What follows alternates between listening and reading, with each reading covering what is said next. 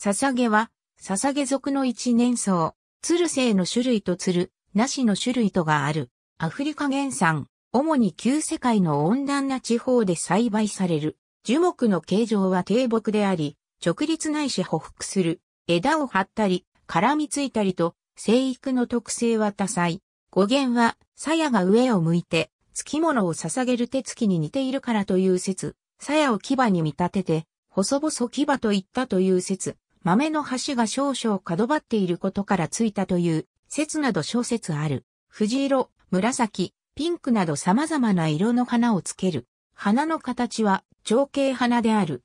穀物用紙は、鞘が10から30センチメートルで硬く、豆は1センチメートル程度の腎臓型で、よく知られる日本で、一般的な赤活色の他に、白、黒、泡褐色、紫色など様々な色を持つ。白い豆には一部に色素が集中して黒い目のような姿になるため、ブラックアイピーと呼ばれる。ツル生種は草丈が2から4メートルになるのに対し、ツルナッシュの草丈は30から40センチメートル。長ささげと呼ばれる品種は100センチメートルに達する。耐寒性は低いが、半面厚さには非常に強い。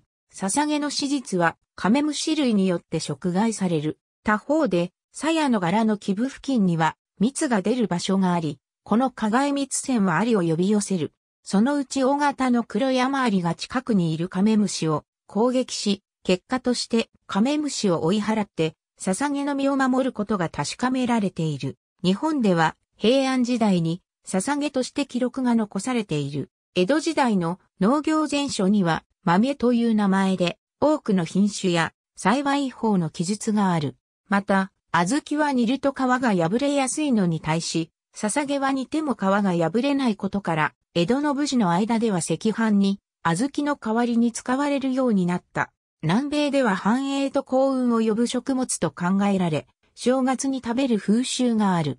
市販のパック赤飯には、捧げの代わりに小豆を用いている物品もある。以下の4亜種、または品種群が栽培されている。ビニアアンギキアラタサブスプ、アンギキアラタ捧げ、黒目豆と呼ばれる品種は、クリーム色地に黒の大きな反紋を一つ持つ。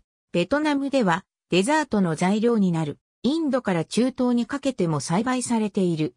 米国南部や西インド諸島には西アフリカからの奴隷によってもたらされ、ソウルフード等、主にアフリカ系の人々の伝統料理に用いられる。武勇、サブスプ、シリンドリカ旗捧げ、ヤッコ捧げ、旧世界の熱帯で食用とされるほか、アメリカ合衆国では飼料作物として栽培される。武勇、サブスプ、ディーキンティアナ捧げの祖先や生種とされる。武勇、サブスプ、セスキパデイリーズ16捧げ、長く成長する鞘を野菜として利用する。東南アジアと日本の一部で食用にされる。